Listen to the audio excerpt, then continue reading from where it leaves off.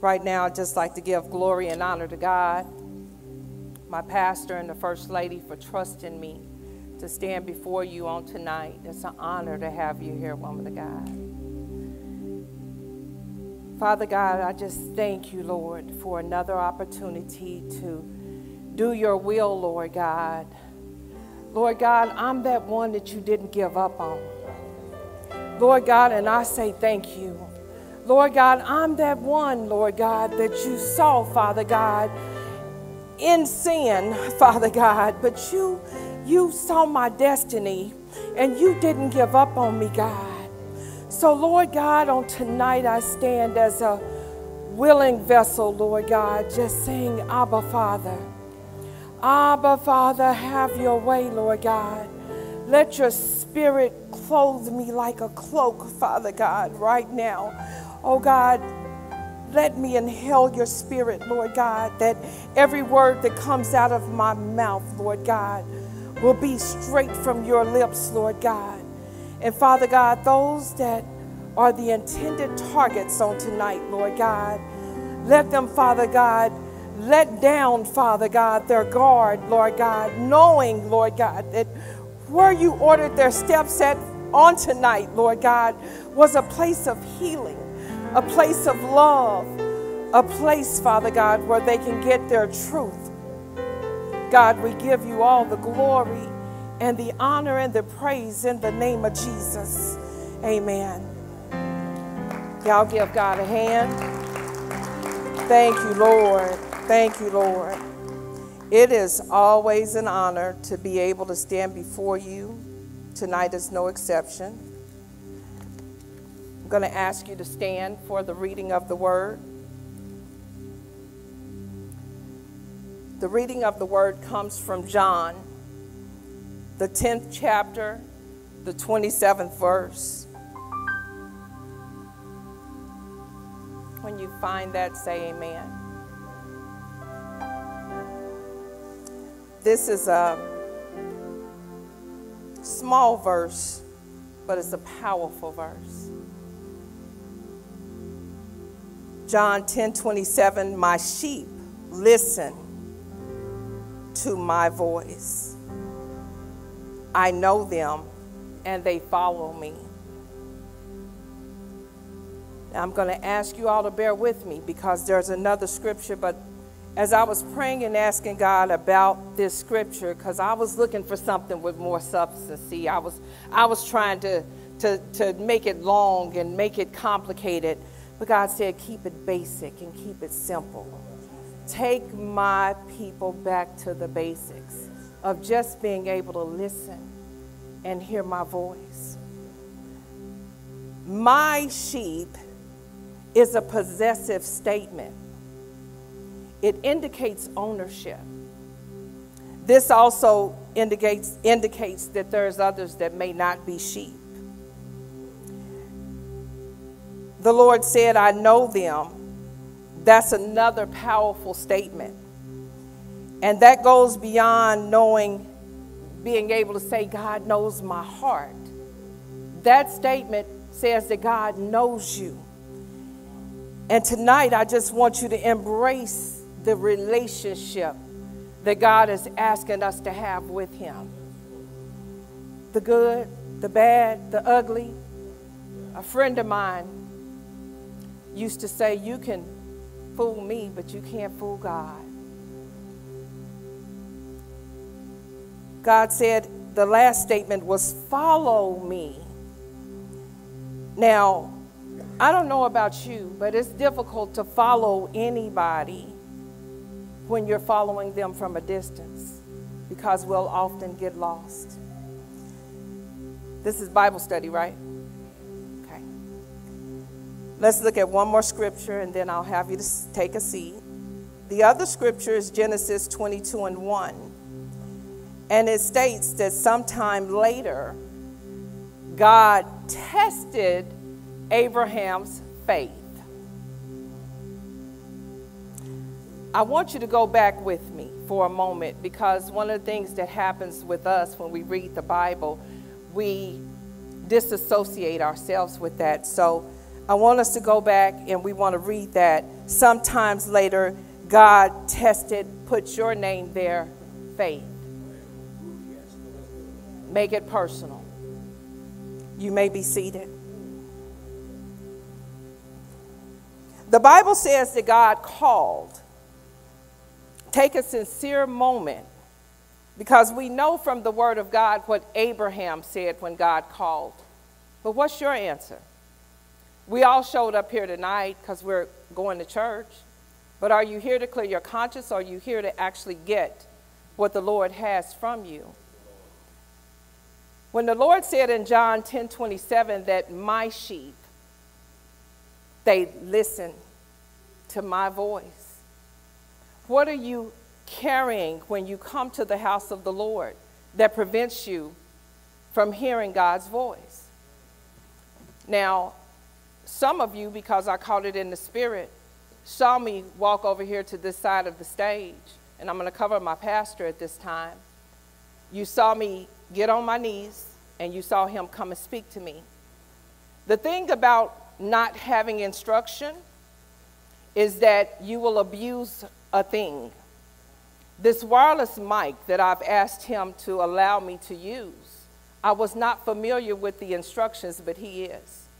So, as my pastor, what he was coming to let me know was that me getting in that position could potentially mess up the mic, it could damage it. That's the power of having a shepherd.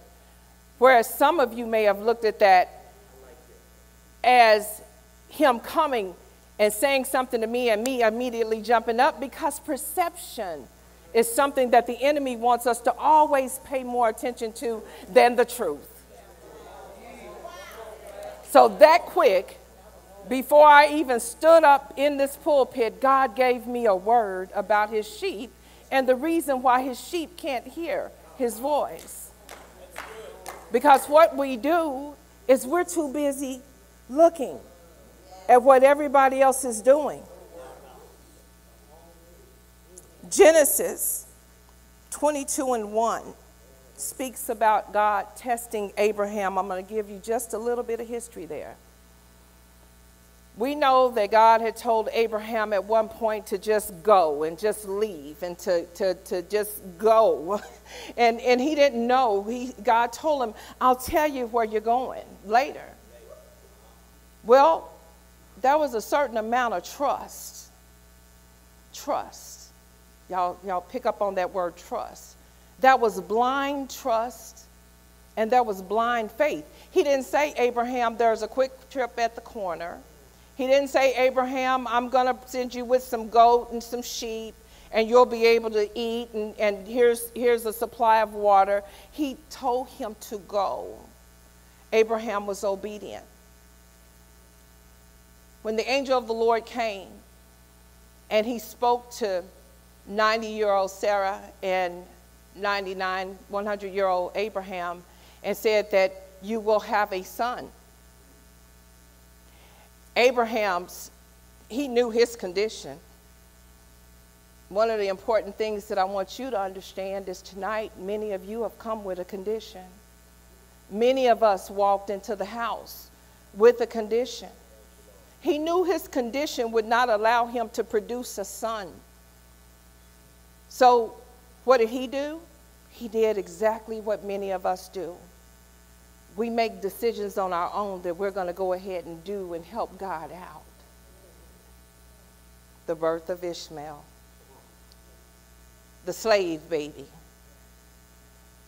God still, because it was out of the loins of Abraham, had a promise for him, but it wasn't the promise. So if you want the promise, obedience is better than sacrifice. Amen. The promise and the second thing that Abraham was obedient about was the fact that he trusted in the Lord that he would have a son. Okay? By his wife. The angel of the Lord came back and blessed them.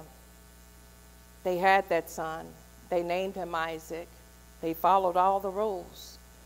And then Genesis 22 and 1 tells us that God tested Abraham. And he told him at that point to go and sacrifice that thing that you love. Now, let me put it in, in the terms that God gave it to me for you tonight. We all have things that we love. God wants that. God wants that sacrificed.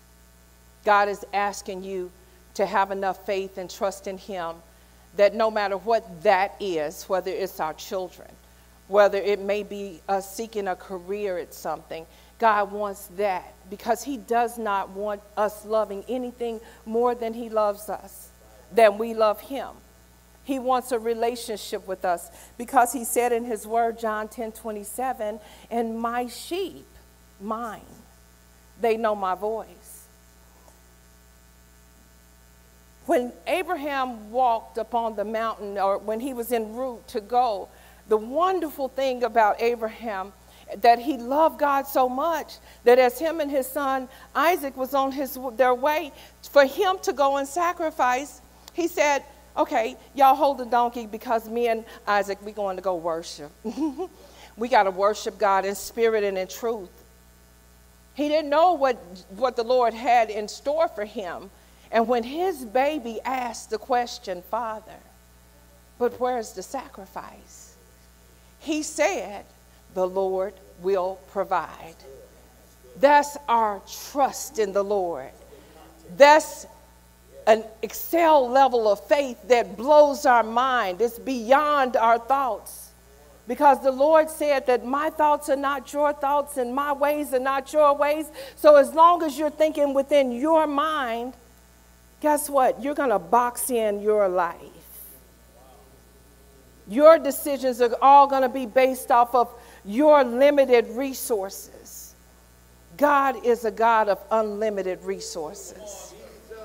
So when we come into the house, carrying our lives and carrying all of the confusion and the anger and the hatred of our father that maybe wasn't there, our mother that maybe wasn't there, our family members that may have touched and molested us, the situations that may have happened in our lives. Maybe we had lack and we didn't have anything at our home. Whatever that thing was, that in turn created an atmosphere for you because many times we end up, if we didn't have enough, we may end up stealing a little bit. We may be, end up sleeping around because we want something from somebody. Our motives are not right. Abraham was very obedient. And when he got up there to go and sacrifice his son, he went through all the motions and raised his hand back and that's when the angel of the Lord appeared again. And he called on Abraham's name. And he said, No, don't kill your son. See, God just want to know if you're willing to give it to him. That's all he want to know. I had an experience in my life where things were going on so crazy in my teenage anybody got teenage kids that's kind of loco i'm just asking because i've had some experiences with mine and if you've had teenage kids that you've had issues with, it comes a time when you've done all you can and, and you can't change it, you can't fix it, you can't do anything about it. That, that is what God said, sacrifice to Him. So I said, Lord, I give my kids back to you. They're yours. But when I gave my kids back to the Lord, all hell broke loose, y'all. I'm not playing. The enemy came full force. Why? Because obedience was better than sacrifice. I was obedient to listen and hear what the Lord told me to do. There came a time when the person that raped me, I had to go before the altar and say, Father God, help me so that I can pray for him. And I did. And when I prayed for him, I had an opportunity to speak with him again. And I said, Why? Why did you take my childhood from me? Why did you do these things to me? And while I was asking him why, I stopped. And I said, You know what? You don't owe me an explanation. I forgive you. And God bless you. That was a powerful move of God. It took a lot of strength. But I listened because as a sheep, I started out at an encounter here at Going Hard for Christ Church in 2013. 50 years old, walking down into my destiny, but not knowing that my steps were ordered at that piece of real estate at 3434 South Garnett. And so, what happened when I got there was that I had that boom head on collision with the Lord because He saw my brokenness, He saw my sin, He saw my shame, and quite frankly, y'all, I was tired of carrying it. I, any of y'all tired? Any of y'all tired? Because, see, let me show you something. What we get the opportunity to do is if, if you place your hand upon your head and just kind of unzip, you get to step out into your spiritualness. See, the enemy, the enemy had a plan. See, some of us that may have bad health may have experienced heart attack, stroke, different things like that. The enemy wants to attack your heart and give you a spiritual heart attack. Because he knows if he can attack your heart, your heart is the lifeline to praising the Lord, worshiping God. Your heart is the lifeline to your survival because that's all God asks us for is our heart. And because we have issues with our heart, that keeps us from giving. Like God needs our money. Because we have issues with our heart, we harbor anger and bitterness, and, and we prevent, we stop. But see, the enemy already knew. Because see, what happened in the atmosphere, the enemy couldn't get to God. So he had to wait until God assigned you and appointed you with your destiny. And that's when he came, just like he came to Jesus. When Jesus was going through his 40 days, he came and tempted Jesus. Amen. Isn't that right? Isn't that what it said in the word? That's the only time he could come and, and tempt Jesus. Was when Jesus had his destiny all laid out.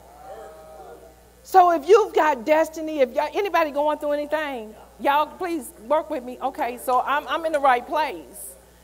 So the fact that God sees destiny in you, no matter what your situation looks like, no matter what you've been through, no matter how you treated anybody, guess what? We get an opportunity to ask for forgiveness.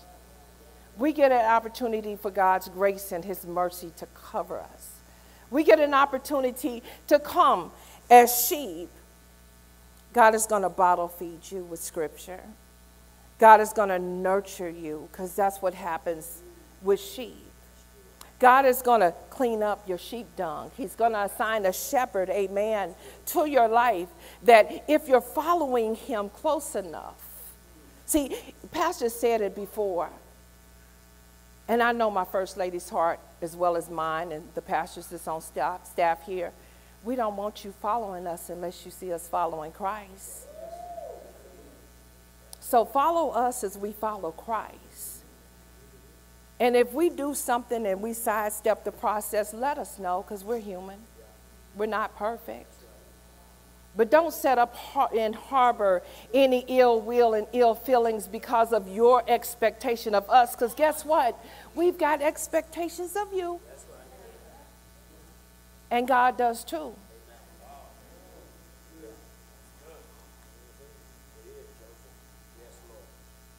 Abraham Abraham. What a mighty faith lesson. What a mighty sacrificial lesson of what God needs from us. The reward, the benefit that's attached to our obedience is found in Genesis, the 15th chapter, verses 18 through 21. And it reads,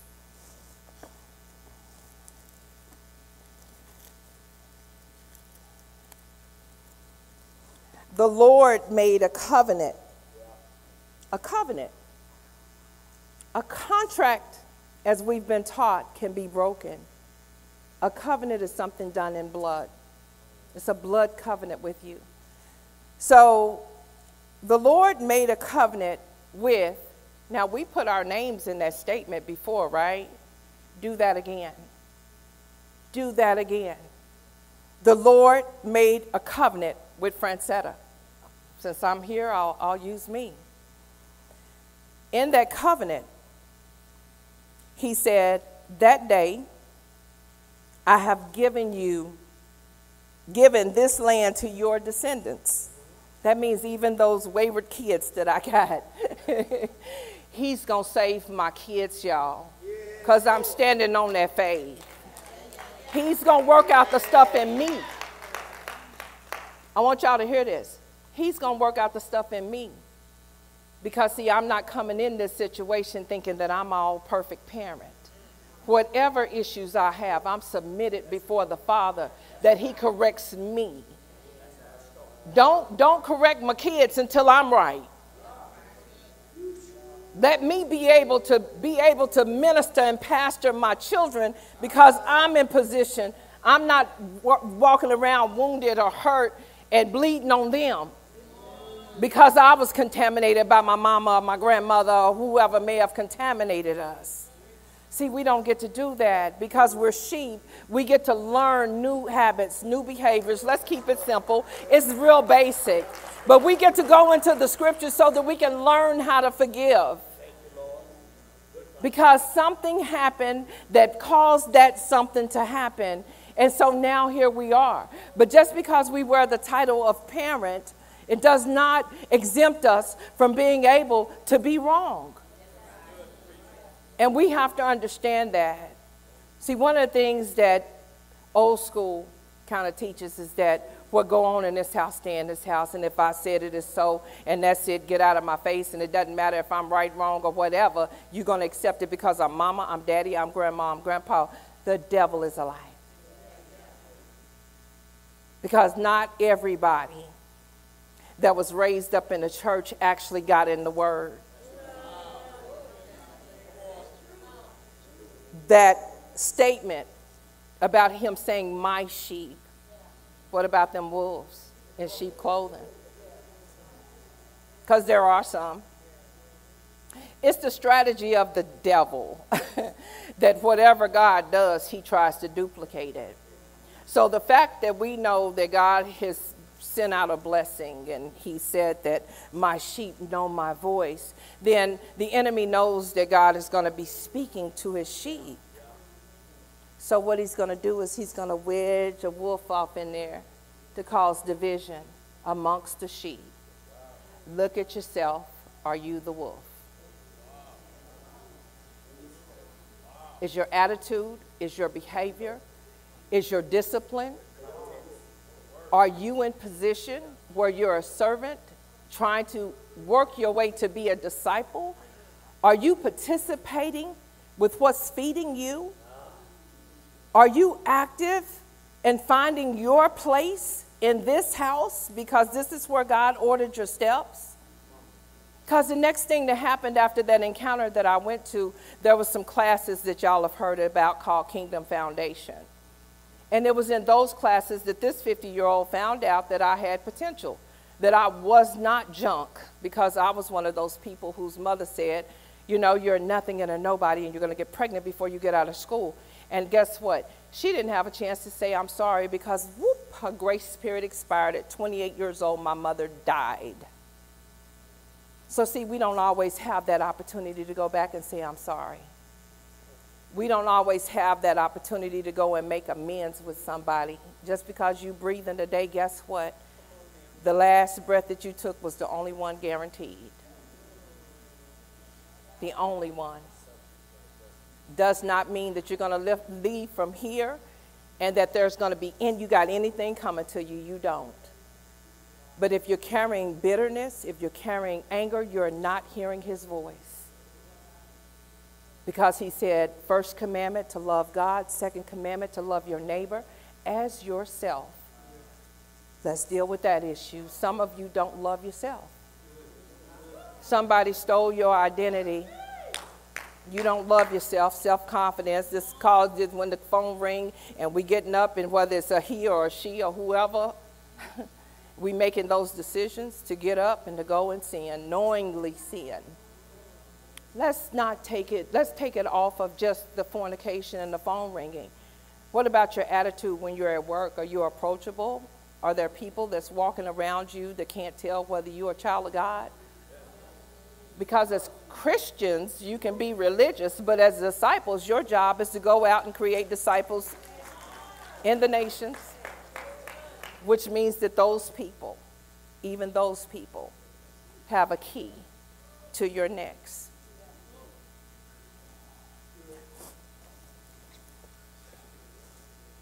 The covenant that God made with Abraham and his descendants, he said, all the way from the border of Egypt, so eh, all the way from the border of Egypt. And, and, and if you're a member of this church or visited this church at any point in time, you know that Egypt represents bondage. So, what God has said in this scripture is that from our bondage place, all the way to the Euphrates River, we're giving you the land possessed that is now occupied.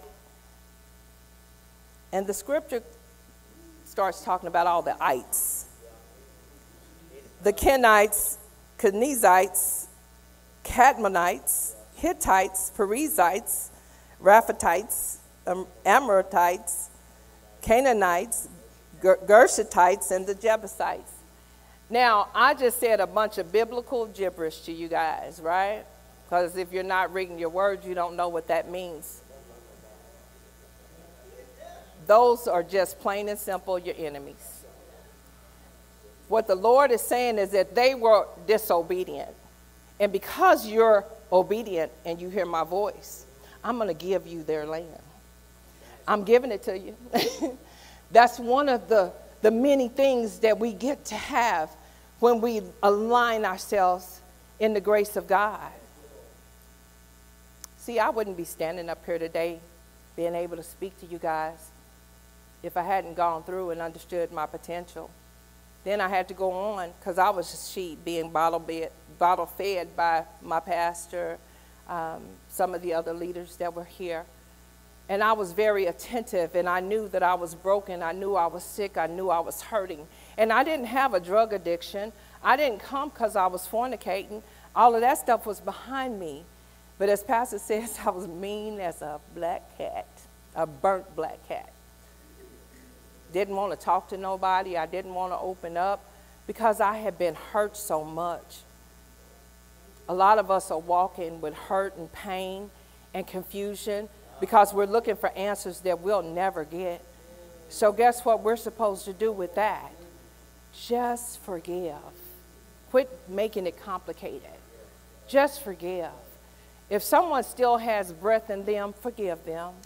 If they don't have breath in them, write a letter, forgive them. Get that up off of you because the Lord said that my yoke is easy and my burden is light. The fact that God said his yoke, which is normally something heavy It's easy and his burden is light, that means that he's getting ready to take all of your cares, all of your burdens, if you hear his voice and trust him. Because you know what? If, if at that time when you're feeling angry and bitter and all of that, if you'll just get down on your knees and pray for your enemy, you cannot pray for someone and hate them at the same time. You can't do it. Try it.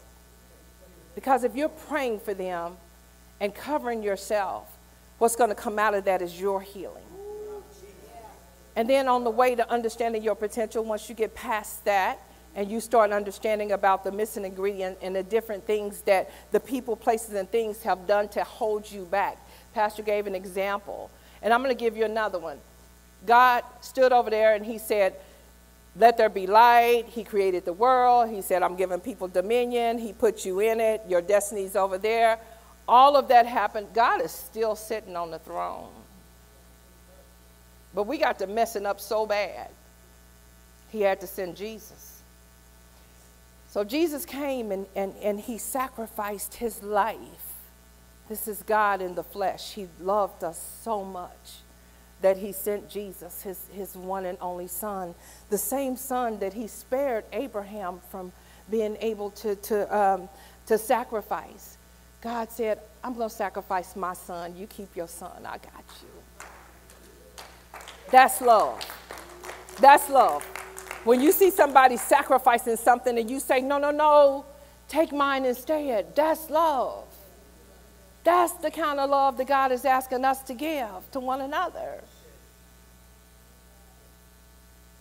But I'm going to tell you something about that next entity because in Genesis, God talks about the Father, the Son, and the Holy Spirit. Amen. Am I talking to the right people? That part. The Holy Spirit, He comes at a time when we've gone through something. See, that's, that's, that's when we need Him to burn up whatever's going on in our lives. When we call on Him, we need Him to guide us. Holy Spirit, have your way in my life. See, see, when we wake up in the morning on a normal day, we're mere mortals.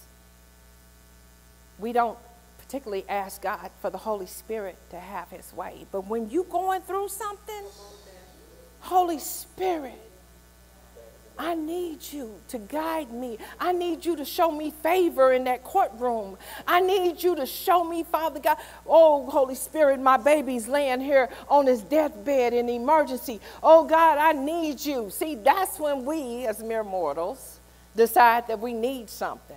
But the Father, the Bible says the Father sat down after the seventh day. We know that after Jesus went to Calvary, we know that at that point, he said it was finished and it was done. So now he said, I've got to go to send my comforter. So the spirit inside of you, that breath that you get to choose life or death with, that's what he left you with. We have the ability to speak life or death over ourselves, our futures, our situations, our circumstances. We have the ability to do that. But we have to hear the shepherd's voice.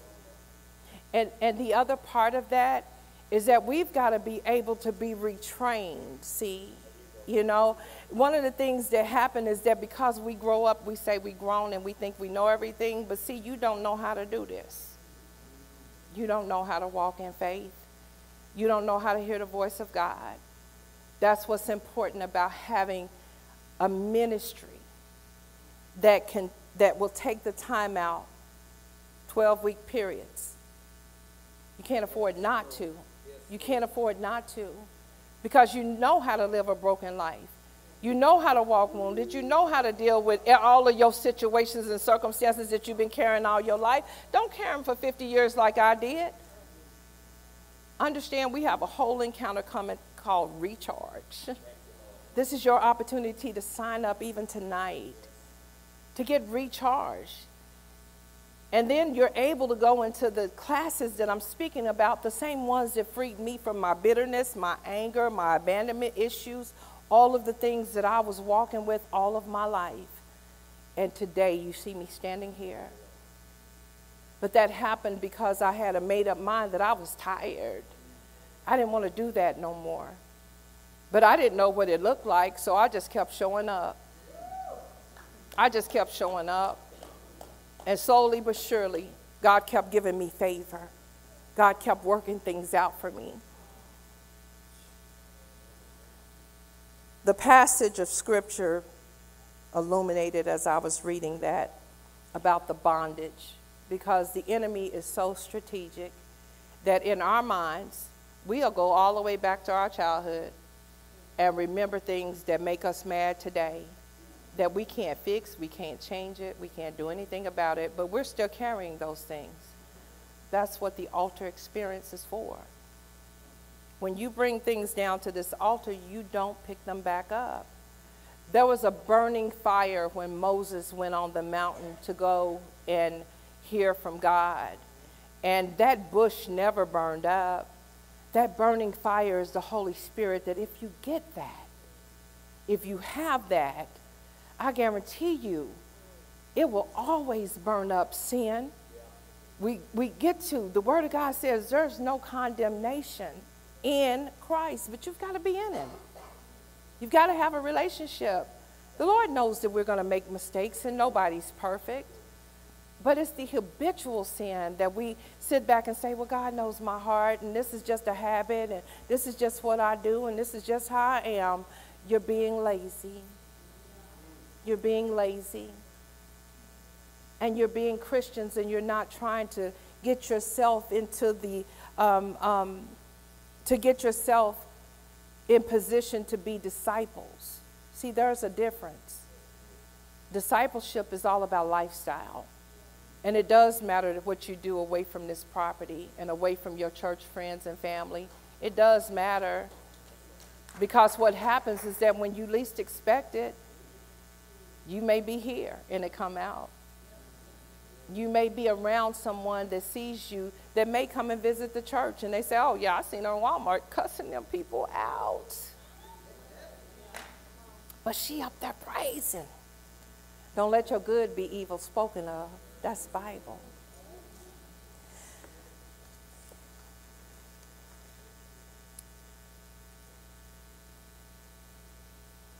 My God, will you pass the test?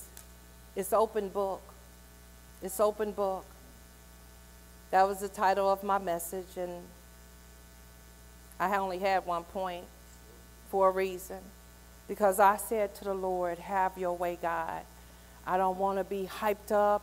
I want you to do something different and have your way, God.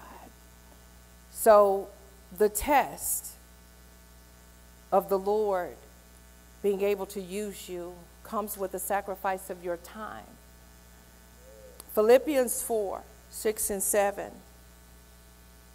The word says, Don't worry about anything. Instead, pray about everything. Tell God what you need and thank Him for all that He has done. Then you will experience God's peace, which exceeds anything we can understand. His peace will guard your heart and your mind as you live in Christ Jesus, who is our Lord and our Savior. Many of us know the Lord as our Savior because we know that He died on, on Calvary, and, and that's what we learned in, in BTU and all of that way back in the Baptist church. But as we grow older, we have to recognize Him as our Lord. We have to show reverence to Him and be grateful to Him each and every day for the sacrifice that He made for us, that we can call on the blood, and the blood will cleanse us the blood will replenish, replenish us.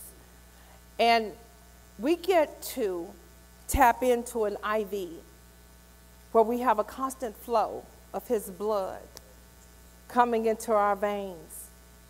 And this is the product of our decisions now. See, this is not hard, and I didn't want to tear y'all down. I wanted to give you just the basics of what the Lord had told me. See, we were trained in elementary school how to treat people. Why is it that we grow up to be adults and we forget that? Why is it that we ask for relationships and situations when we don't know how to have them? Why is it that we place ourselves in situations where we think we're ready for something and we're not? All of these are basic things that the enemy uses to give us a spiritual heart attack because he knows that our desires many times will supersede what God's desire is for, our, for us. The end result of that is that we become bitter and we become angry at God because I wanted that house, I wanted that car, I wanted that job, I wanted that wife, I wanted that relationship, I wanted that baby, I wanted that. God knows best. And if we listen to Him, a part of our destiny if he gave Abraham a baby at, 90, at, a, at 99, 100 years old, you can birth a baby too. Don't give up on God because he did not give up on you. Now, will you pass the test? That's the question for tonight. Are you prepared to come back into this house on next Wednesday or next Sunday the same way that you came tonight? Are you prepared to do that? Or are you tired are you at a place where you're ready for an attitude adjustment? Are you at a place where you're ready for something new in your life? Because you do get to decide when you leave from here if you want to stay stuck. That's always an option. Back when I was a young girl selling PCP, I met a guy that was my dealer.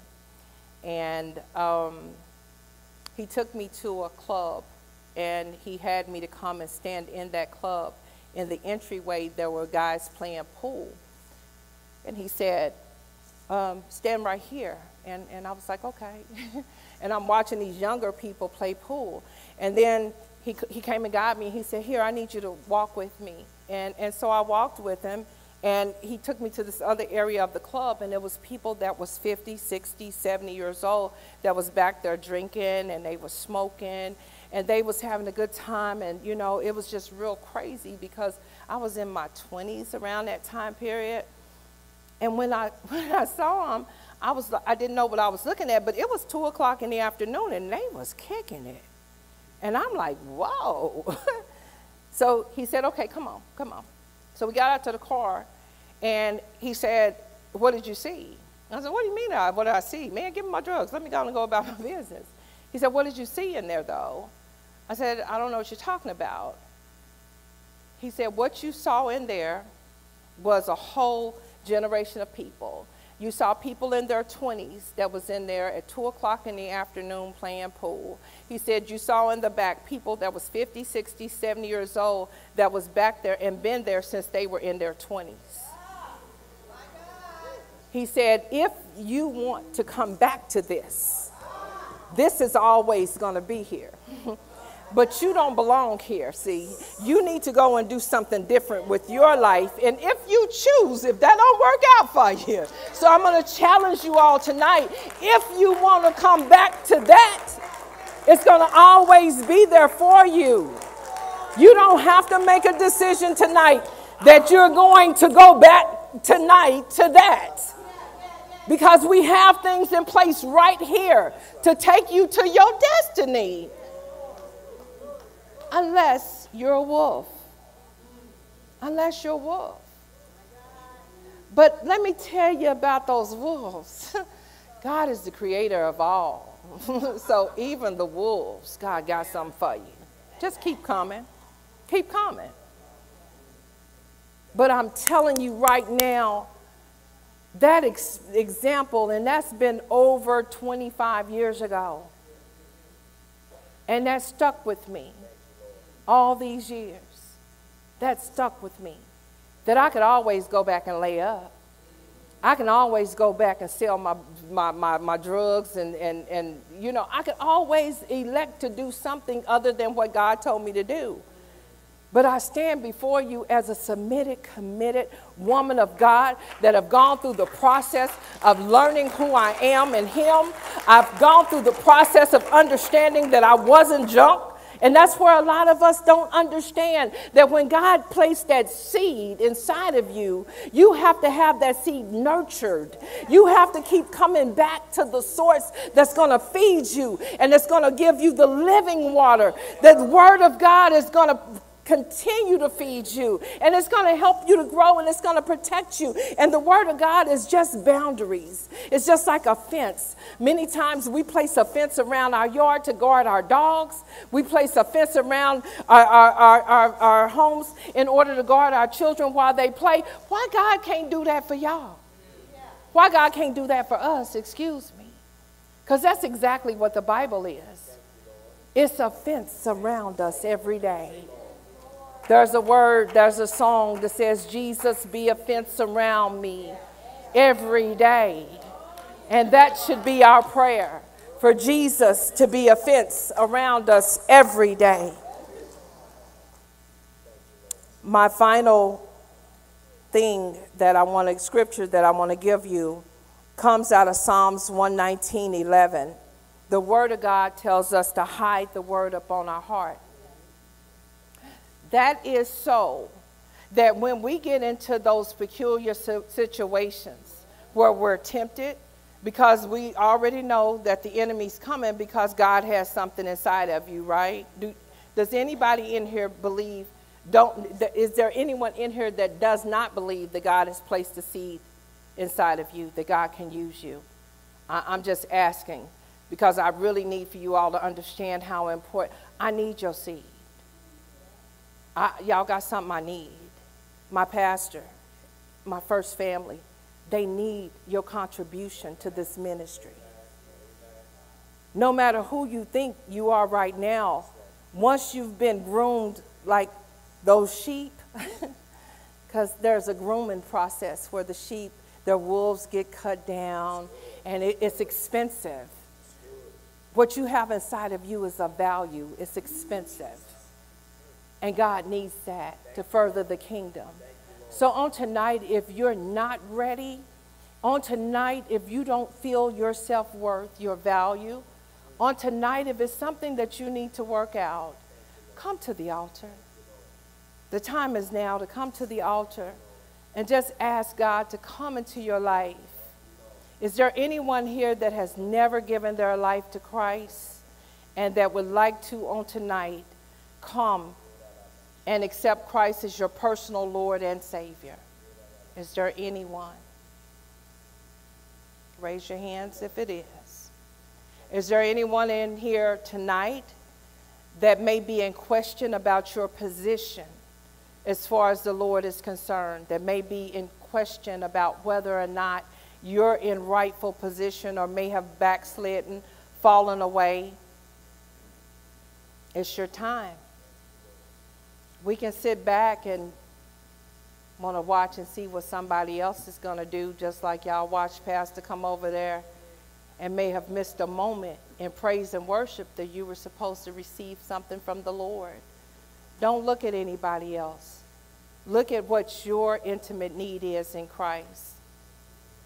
And then if everybody here is just perfect and you're ready to leave from here and you know that you know that you know that when you leave from here, thank you, man of God, when you leave from here, that everything will be fine. If God called you home immediately, that you would just go and be in God's face. If you're that confident about your salvation, then continue to sit there. But I'm going to charge and challenge each and every one of you. There shouldn't be anybody in any seats right now this is a word that God has given that is so basic and so foundational that if you're his sheep, you have heard his voice on tonight, and we give God the glory. Don't be ashamed. Don't be embarrassed. There's not a person in here that can give you access to heaven or hell. On tonight, you get to make those decisions. Just come to the altar. Lord God. We thank you for your sheep. We thank you, Father God, that on tonight your voice was heard, Father God, by your sheep, Lord God. We thank you, Lord God, that at the beginning of time, Lord God, you knew that tonight would come. You knew that the fatherless would come into your arms and to be comforted. You knew that the motherless would come to your altar on tonight for comfort. You knew that the friendless, Father God, would come and allow you to be a friend indeed, Lord God. On tonight, Lord God, those that have been hurt, abandoned, have gone through any type of abuse Father God, that their identities may have been stolen, Lord God. Those are the people that you're calling right now, Lord God, because you place value in your people. And on tonight, Father God, we give you the glory, Father God, for calling them out by name. We thank you, Lord God, for what you're doing here in this ministry, Lord God. As we follow Christ and we hear your voice, Lord God, Lord God, let us submit to your will, Lord God. Shift us out of the way, Father God, that no matter what our ailments and what our issues are, Lord God, that we can just have the faith to sacrifice that on your altar right now, Lord God. Lord God, I bind in the name of Jesus, Lord God, every mindset, Father God, of depression, of oppression, of so suppression, Lord God. I bind every addiction, Lord God, in the name of Jesus, Lord God. I bind every memory that was a lie, Father God, in the name of Jesus. And I cancel the perception, Lord God. I cancel the perception, Lord God, of those that may feel that they're okay and that everything is all right, Lord God. Let your people hear your voice and know your name on tonight, Lord God. Lord God, we just thank you for your glory. We thank you for your grace. We thank you for your mercy. God, we thank you for the marriages that you are putting back together right now.